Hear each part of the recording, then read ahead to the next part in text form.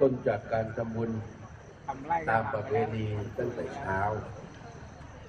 มาถึงยามค่ำณบัดนี้ เรามีการปฏิบัติตามประเพณีมาแล้วทั้งวัน ก็ไม่ลืมคิดว่าคนไทย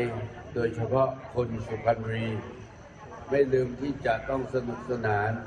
ไม่ลืมศิลปะการแสดงโดยศิลปินที่เป็นคนเกิดจากจังหวัดสุพรรณบุรี มาร่วมแสดงให้พี่น้องประชาชนได้ร่วมชม ได้มีความสนุกสนาน มีความบันเทิง นอกจากนั้นขาดเสียไม่ได้ เมื่อมีวันสงกรานต์ก็ต้องมีนางสงกรานต์เมื่อจะมีนางสงกรานต์ก็ต้องมีการประกวดนางสงกรานต์จากทุกๆอำเภอสิบอำเภอท่านในอำเภอที่ยืนอยู่เบื้องหลังท่านประจังหวัดนี้เป็นผู้นำนางสงกรารมา วันนี้คืนนี้เราก็จะได้ทราบผลของการประกวด ว่า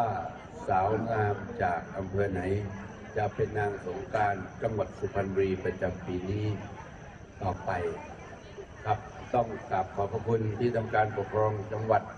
ซึ่งนำโดยท่านปลัดจังหวัดที่ทำการปกครองอำเภอทุกอำเภอ โดยการนำของท่านในอำเภอทุกท่าน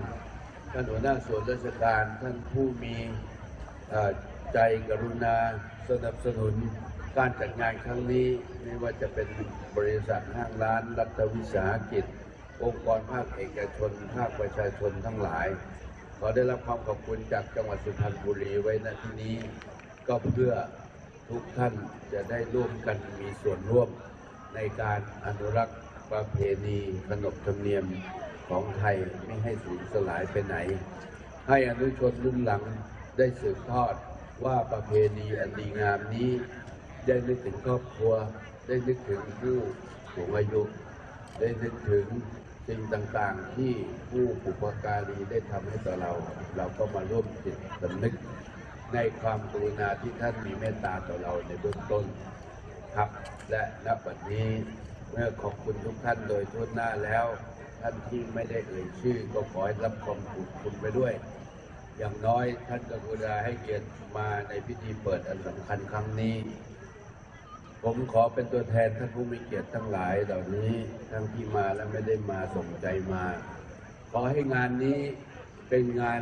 ที่จะสร้างความประทับใจ เพื่อรักษาอนุรักษ์วัฒนธรรมไทย ในเทศกาลสงกรานต์ปีใหม่ไทยของจังหวัดสุพรรณบุรีให้สุดยาวนานต่อไป และขอเป็นตัวแทนทุกท่านครับ เปิดงานเย็นทั่วล่ามหาสงกรานต์สุพรรณบุรี ประจำปี 2560ณบัดนี้นะครับเชิญทั้งสิบอำเภอครับ หลังจากที่ท่านได้กล่าวเปิดแล้วนะครับ เย็นทั่วล่ามหาสงกรานต์สุขสันต์สุพรรณบ้านเราในปีนี้ นางสงการถือปืนทรงช้างเป็นเทพี เปิดงานคืนนี้ว่าที่ร้อยตีสุพัฒน์จัดไปครับครับ ครับขอเสียงปรบมือให้ด้วยนะครับปีนี้สงกานต์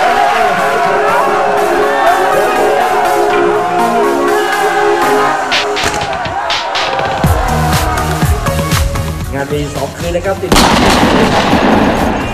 และเมื่อเสร็จสิ้นในการประกอบพิธีเปิดอย่างเป็นทางการแล้วจะได้รับเกียรติเรียนเชิญท่านผู้ว่าการจังหวัดได้กรุณาให้เกียรติมอบเกียรติบัตรนะครับโล่รางวัลและการประกาศผล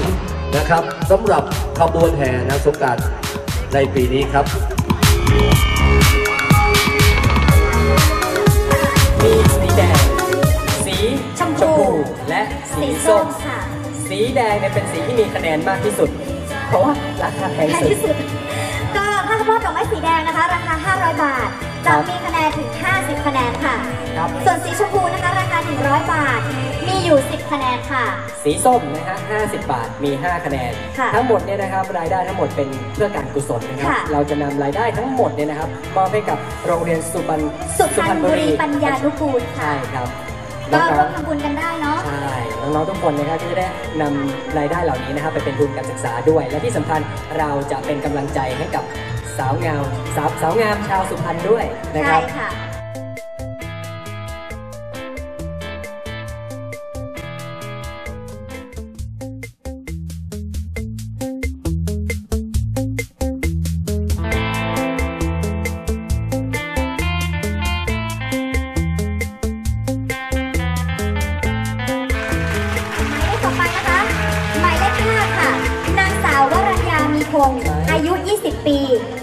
วน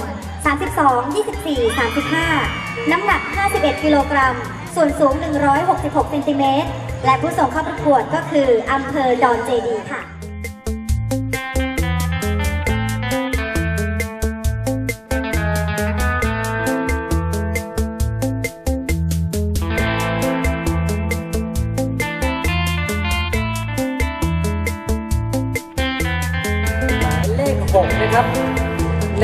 าวธีรดายะน้อยนะครับอายุ 22 ปี สัดส่วน 30 24 37 น้ำหนัก 56 กิโลกรัม ส่วนสูง 174 ครับ ผู้ส่งเข้าประกวดคือห้องเสื้อชยาดา จากอายุทยาครับ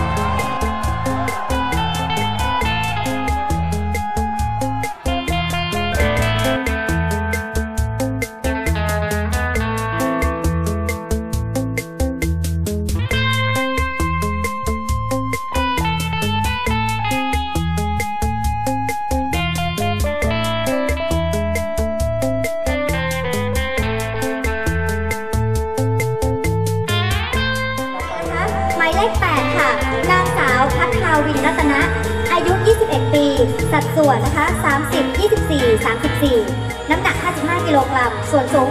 168เซนติเมตร และผู้ส่งเข้าประกวดก็คืออำเภอสองพี่น้องค่ะ อย่าลืมนะครับกำลังใจของสาวงามเนี่ยนะครับนอกจากจะเราจะมีรางวัลขวัญใจช่างภาพแล้วนะฮะซึ่งเอ่อทีม พี่ๆสื่อมวลชนเนี่ยจะเป็นผู้ตัดสินให้รางวัลแล้วสำหรับผู้ที่มาร่วมงานในวันนี้นะครับ ถ้าหากว่าท่านอยากจะเป็นส่วนหนึ่งในการตัดสินนะครับให้คะแนนนะครับขวัญใจชาวสุพรรณค่ะอย่าลืมครับดอกไม้นะครับจะมีสามสีสีแดง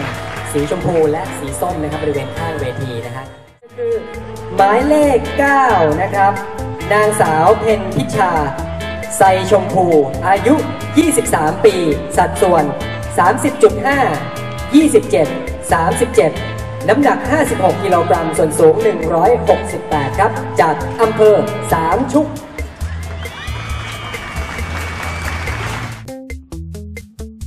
แหมตอนแรกเราไม่เห็นนะว่ามีร้านอาหารเรียงรายรอบคือถ้าเห็นแล้วจะทำไมคะพี่กงจะได้ลงมาไล่ซื้อชิม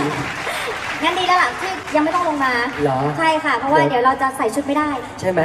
ตอนแรกจะชวนเอี้ยมมาด้วยนะเนี่ยอะงั้นต่อไปเลยดีกว่าค่ะงั้น ต่อไปเล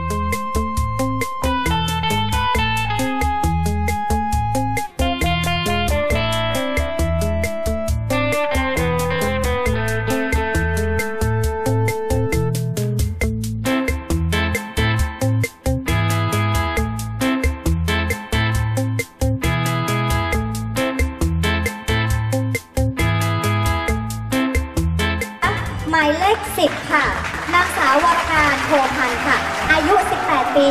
สัดส่วน 29.5 23 32.5 น้ำหนัก 47 กิโลกรัม ส่วนสูง 171เซนติเมตร และผู้ส่งเข้าประกวดก็คือ เรือนเจ้าสมุทร เรือนเจ้าสาวสุพรรณบุรีค่ะขออภัยนะคะ และสาวคนนี้ก็คือผลผลิตจากจังหวัดสุพรรณบุรีเองค่ะ อ่านะครับก็เป็นบ้านเกิดสุพรรณบุรีแท้ ๆ เลยนะฮะ ค่ะ คนที่สองแล้วนะคะ เดี๋ยวเราไปพิสูจน์กัน